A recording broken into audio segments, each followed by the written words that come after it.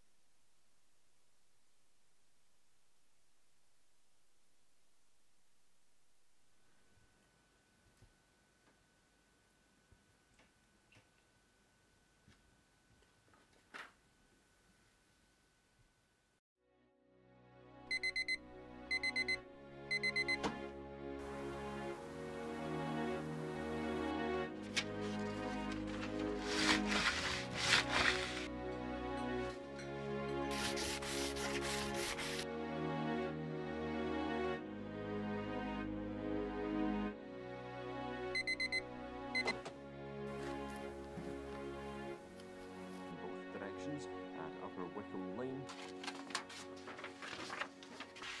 I go to sleep without sleeping.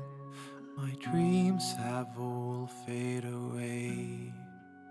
All I can hear is a howling noise and the echoes of my past mistakes.